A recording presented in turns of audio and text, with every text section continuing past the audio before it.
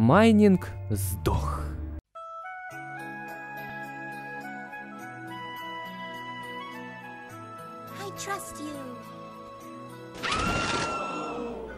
Всем привет, ребята, меня зовут Богатейший Ди. Рынок немного восстанавливается. Мне очень приятно наконец увидеть зеленый цвет, хотя он и вводит нас в заблуждение, потому что мы все еще далеки даже от 6 тысяч долларов. А эта цифра нам казалась когда-то маленькой. Как мы дожили до этого? А победитель сегодняшнего восстановления какой-то Gold Bitcoin. 231% за сутки у него получилось продемонстрировать. Капитализация едва дотягивает до 50 миллионов долларов.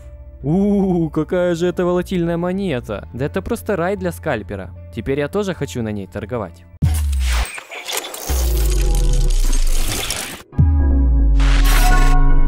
К теме видео. Майнинг сдох. Да, ребята, это так. Начнем с курсов. Биткоин 4000 долларов, эфириум 114, лайткоин 31, Monero 57 и Zcash 71. Курсы, которые вызывают желание выпить валерьянки как минимум. Интересный факт. Криптовалютные каналы, связанные с майнингом, сейчас испытывают увеличение количества просмотров. Но вот подписчиков особо не прибавляется и даже убавляется. Это наталкивает на мысль, что люди теряют интерес к майнингу криптовалют. Криптовалютный аналитик Кевин Рук недавно в своем твиттере опубликовал следующую информацию. Сложность майнинга биткоина падает на фоне того, что некоторые майнеры начинают впервые терять деньги. Если сравнивать ноябрь 2017 и ноябрь 2018, то сложность майнинга упала почти на 7%. Сейчас она меньше на 3,7% от своего пика, но ожидается падение на почти 9%. Ребята, возможно такая картина нарисовалась из-за форка биткоин кэша. Что касается хешрейта сети биткоина. Он летит прямиком в ад. Наверное, хочет изведать горячего борща прямо из котла, в котором черти варят грешников и криптовалютных инвесторов. Падение почти наполовину от пика. Это фантастика. Практически с 60 тысяч терахэшей до 40 тысяч упал.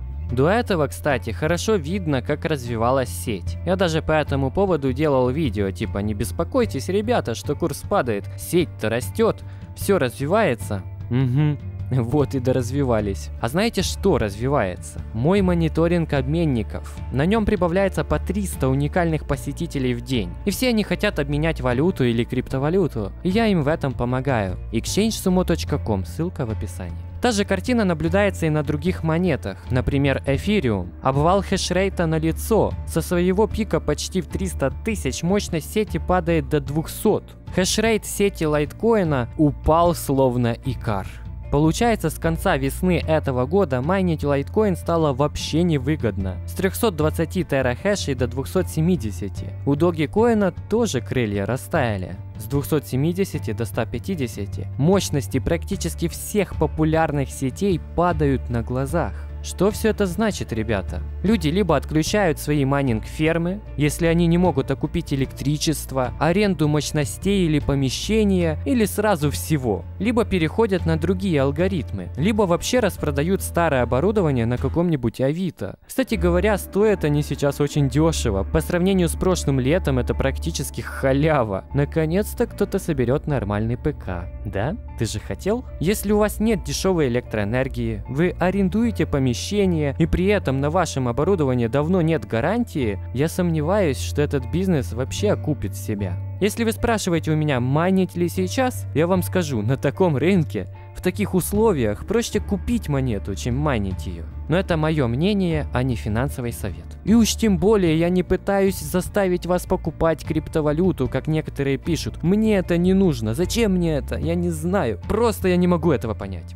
Кстати, я же не финансовый аналитик, помните об этом тоже. Возможно, есть смысл экономить на коммуналке и отапливать помещение не газом, а своими фермами. Некоторые люди так и делают, кстати говоря, это не шутка. Что касается доходности. Допустим, у вас есть топовая видеокарта 2080 Ti. Ваша электрическая подруга обходится вам в 10 центов. Тогда на эфириуме чистыми вы будете получать минус одну сотую доллара в сутки. Минус одну сотую доллара. То есть вы еще и должны останетесь. На эфириуме классик одну сотую доллара в сутки. Но это просто... Ну это пиздец, это пиздец. Да, именно так я и хотел сказать. Но если ваша розетка обходится в 6 центов, то в принципе жить можно. Ваша 2080 Ti будет приносить вам 38 центов чистыми в сутки, если вы будете майнить эфир. Вы скажете, можно же майнить какие-то шиткоины. Это правда. Есть куча шиткоинов, которые можно майнить. Но вы заработаете не намного больше.